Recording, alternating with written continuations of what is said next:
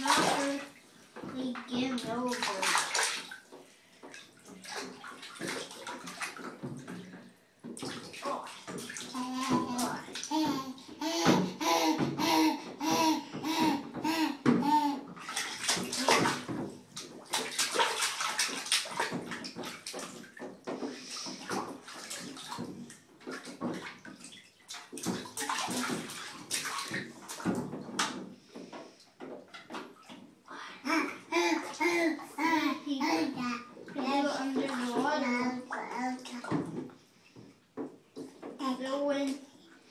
He goes up uh, the water, he doesn't need to wear it.